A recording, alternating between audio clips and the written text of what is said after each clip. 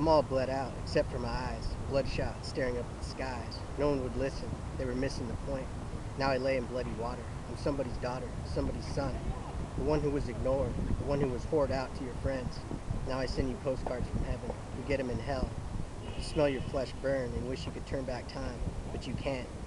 You went on a rant because I was gay. Told me I couldn't stay in your house because I was fucking queer. Drinking your beer and screaming. Now you're dreaming in a pool of blood. One shot, then a thud as you hit the floor. You ruled this house with a gay bashing fist. Now you're on my list and I don't shoot. I cut real slow. Now you know how it feels to be tortured, to be screamed at, to be hit with a bat. The abuser, the accuser. You are no more. You took your daughter and turned her into a whore to make extra cash. I just chopped you into pieces and dumped you in the trash because it's garbage day for abusive parents. You think you own your kids and can do whatever you want to them, you might just get fucking murdered.